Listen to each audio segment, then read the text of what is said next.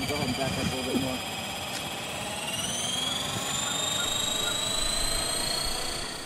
Alright, so today I'm going to try a little forward flight with the Smart Model Scale 450 weighted blades. The wind's blowing uh, from left to right here, probably about 7 8 miles an hour.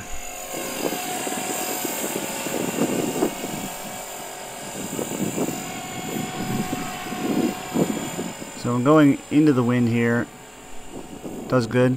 I let go of the stick once and it seemed to track fine, which is nice.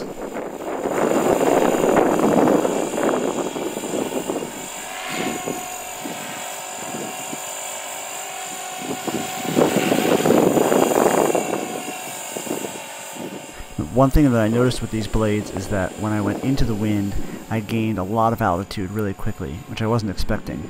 Um, the problem came when I tried to bring it back down. But these blades, since they're kind of sluggish and they have a little flex to them, if you get too much downward momentum, um, there's not enough time to correct it. Even with full collective, I got a little closer to the ground than I wanted to.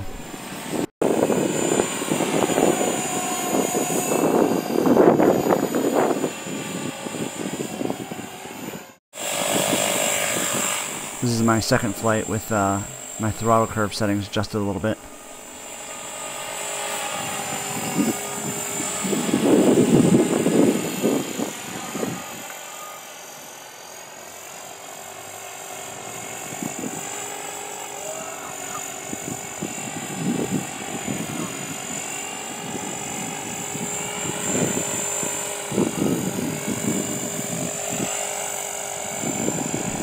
Overall though, I thought that these weighted blades did really great even in the wind.